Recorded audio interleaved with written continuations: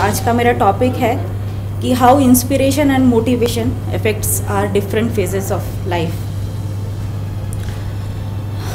as we all know मनुष्य एक सामाजिक प्राणी है man is a social animal इसलिए ज़रूरी होता है कि वो समाज के मापदंड रूपी पैरामीटर पर खरा उतरे।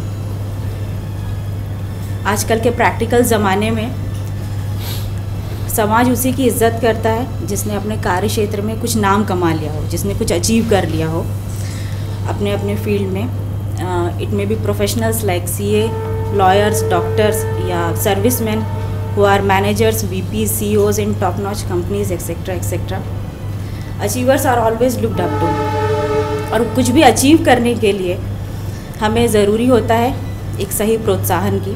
प्रोत्साहन का सिलसिला बचपन से ही शुरू हो जाता है। वो दिया तो पॉजिटिव अप्रोच के साथ जाता है। लेकिन अगर उसको सही तरीके से हैंडल नहीं किया गया तो वो हमारे बेसिक नेचर या बिहेवियर में आ जाता है। मैं एक एग्ज़ाम्पल दे के समझाने की कोशिश करती हूँ। प्रोत्साहन बचपन से दिया जाता है इंसेंटिव्स के रूप में। जैसे कि बच्चे की तारीफ़ करना, उसको ये एहसास दिलाना कि किसी से भी गुड बॉय या गुड गर्ल की उपाधि मिलना उसकी जीवन की सबसे बड़ी उपलब्धि है। एक प्यार भरी निगाह, एक स्माइल एक अफेक्शनेट टच ये सब मोटिवेशन होता है उस बच्चे के लिए कि वो बच्चा आपकी बात को सुने, आपकी बात को माने। थोड़ा बड़े होने पर ये अप्रोच थोड़ा मटेरियलिस्टिक हो जाता है। दैट इज़ इनाम कभी चॉकलेट कभी कोई वीडियो गेम कभी कुछ। अगर आप क्लास में फ़र्स्ट आओगे तो आपको एक नई ड्रेस मिलेगी, आपको वॉच मिलेगी। ये सारा सिलसिला चलता रहता है। जब तक कि स्कूल लाइफ चलती है। जब हम कॉलेज में आते हैं तो ये जो मोटिवेशनल फैक्टर है यह ड्रास्टिकली चेंज हो जाता है।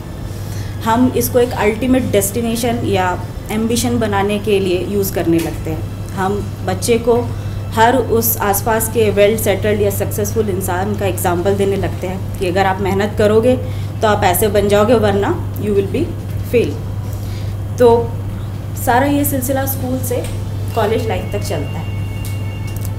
फ़र्क सिर्फ़ होता है एग्ज़ाम्पल्स का इंसेंटिव्स का। अगर आपने अच्छा काम किया तो आपको इनाम मिलेगा, और अगर आपने नहीं किया तो आपकी पॉकेट मनी रिड्यूस हो जाएगी। It's just chocolate get replace by mobile phone और अगर आप बहुत पैसे वाले हैं तो iPhone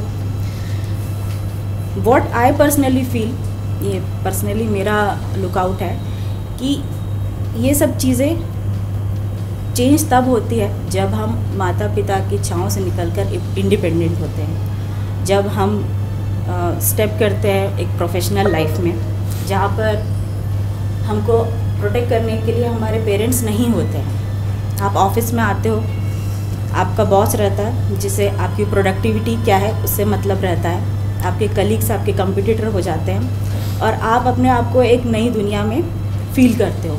ये एक्चुअली वो टाइम रहता है जब आपको इंस्पिरेशन और मोटिवेशन की ज़रूरत पड़ती है।